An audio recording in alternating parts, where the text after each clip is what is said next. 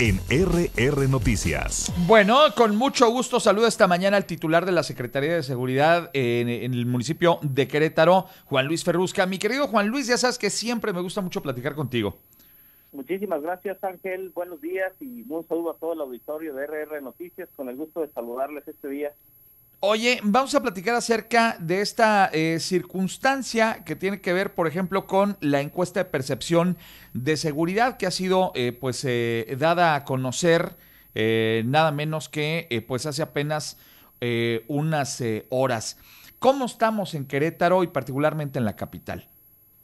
Claro que sí, bueno, pues comentarte que la encomienda que tengo del presidente Luis Nava y respectivamente de nuestro gobernador Mauricio Curi es que echemos a andar pues todas las acciones que nos acerquen a los ciudadanos, que podamos escuchar a los ciudadanos y, poder trabajar en conjunto con ellos. Todos nuestros programas están diseñados para trabajar de la mano con la ciudadanía.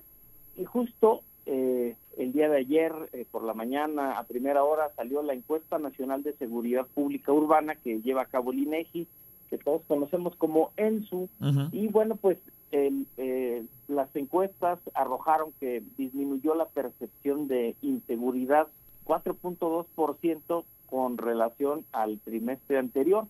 Y bueno, pues esto quiere decir que la percepción, la sensación que tiene la ciudadanía es de que hay mejor seguridad en el municipio de Querétaro, que se siente tranquila, porque además de esto también aumentó la población que consideró efectivo el desempeño de la policía municipal y señaló que aumentó esta percepción de, del desempeño un 3% en comparación con ese mismo periodo del trimestre anterior, lo cual pues para nosotros es alentador para poder seguir trabajando con los ciudadanos aquí en el municipio, Ángel.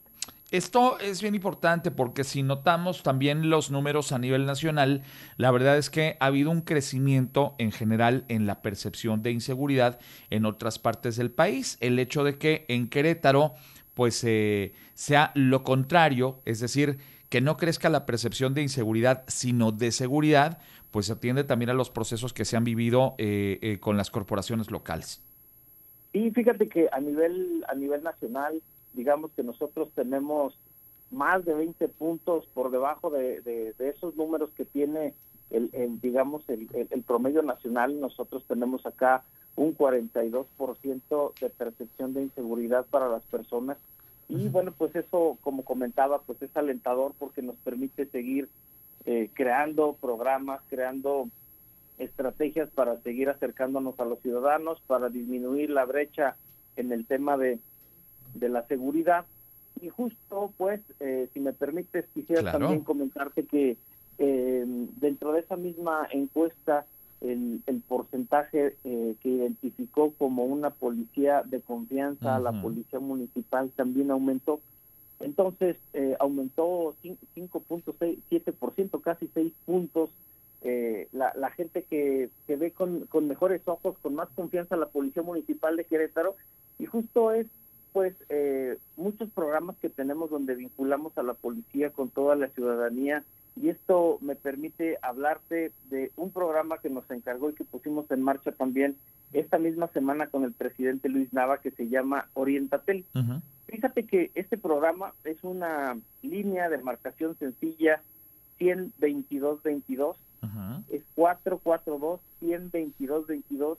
Este número 12222 es una línea telefónica de orientación que es un instrumento que echamos a andar que atiende la policía municipal, personal certificado, personal calificado para atender y recibir llamadas que tengan que ver con temas de violencia familiar y de género para poder darles información.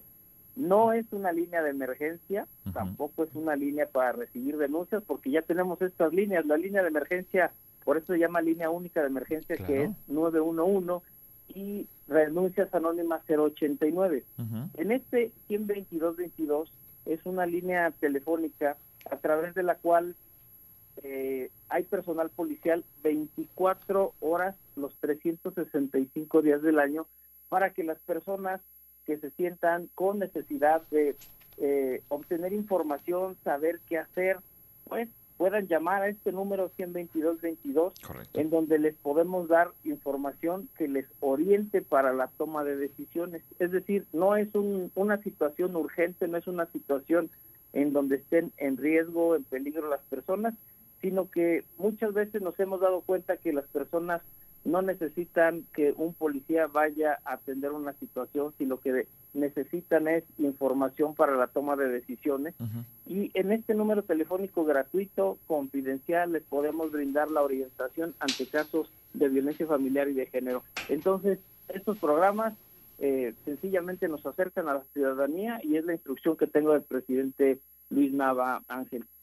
Parece también eh, muy bueno el que desarrollen esta línea preventiva, donde pues si alguien nota ciertas circunstancias que pudieran ser eh, eh, generadoras tal vez de violencia en lo futuro, que también pues puedan marcar y asesorarse. Nuevamente, el número es, Juan Luis. Es 442-122-22. 442-122-22 a disposición de toda la ciudadanía que tenga necesidad de pues generar que, le podamos brindar información. El personal está certificado y es personal policial adscrito a la Dirección de Atención a Víctimas y en una sola llamada tendrá que detectar cuál es la información, la necesidad que tenga la persona para decirle a qué instancia, ya sea municipal, estatal o eh, alguna instancia del sector privado, le puede atender para resolverle la problemática a la que está sujeta la persona. Pues eh, felicitarte por el gran trabajo que se está realizando, porque pues redunda justamente en lo que hemos visto en este incremento en la percepción de seguridad por parte de la ciudadanía aquí en Querétaro, en contraste con lo que se vive en otras partes del país. Juan Luis Ferrusca, titular de la Secretaría de Seguridad Pública Municipal, te mando un gran abrazo. Un abrazo y un gran saludo para todo el auditorio. Estamos a sus órdenes y aquí estamos a lo que se ofrezca, Ángel. Muchas gracias. Y un abrazo para tu equipo que siempre se la rifan en las calles. Gracias, a la orden. Gracias, Juan Luis. Buen día, 756. Los